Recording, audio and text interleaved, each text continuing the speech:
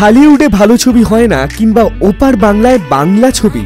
ভালো ব্যবসা করতে পারে না। তাই বাংলাদেশের হলগুলোকে টলিউড কিংবা ভারতের ছবির ওপরই নির্ভর করতে হয়। এই সমস্ত কথাই যে মিথ্যে তা আবারও প্রমাণ করল ঢালিউড কিং শাকিব খান। কারণ এই ঈদেই ঢালিউডে রিলিজ হয়েছে শাকিব খান, বুবলি ও ইমন অভিনীত ছবি পাসওয়ার্ড। যে ছবির পরিচালনা করেছেন জনপ্রিয় পরিচালক মালিক আফসারি। শোনা যাচ্ছে, ঈদের দিন পাসওয়ার্ড রিলিজ করার পরই হলে হলে উপচে পড়ছে দর্শক। এমনকি ঢাকার মাল্টিপ্লেক্স আর নামি দামি হলগুলোতেও টিকিট না পেয়ে ফিরে যাচ্ছে দর্শকরা। বাংলাদেশের প্রায় পঞ্চাশ বছর পুরনো একটি হল, যার নাম মধুমিতা।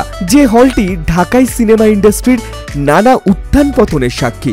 সেই হলেও ঈদের দিন থেকে প্রতিদিনই তিনটে করে শো চালানো হচ্ছে পাসওয়ার্ডের, আর প্রতিদিনই সব কটা শোই হাউসফুল হচ্ছে। শুধু এখানেই শেষ না, নাটোরের জি মাইনুল সিনেমা হল, যে হলে গত বছর কোরবানির ঈদের পর আর কোনো ছবি দেখানোই হয়নি। আর্থিক সংকটের মুখে পড়েছিল এই হলটি। তবে এবার ঈদের দিন, সেই হলেই প্রদর্শিত হলো পাসওয়ার্ড।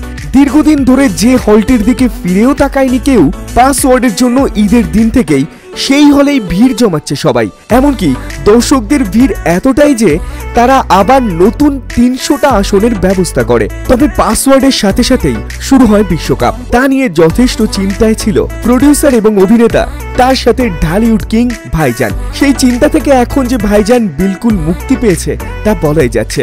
তবে বিভিন্ন আর্থিক সংকটে পড়া হলগুলো ভাইজানের জন্য আবারও নতুন করে ব্যবসা করতে শুরু করেছে। তাই হয়তো পাসওয়ার্ডের পর অনেকেই ভাইজানকে শুধু কিং কিংবা বস না, অনেক হল মালিকের চোখেই ভাইজান বাংলা সিনেমার গড বলে পরিচিত হচ্ছে।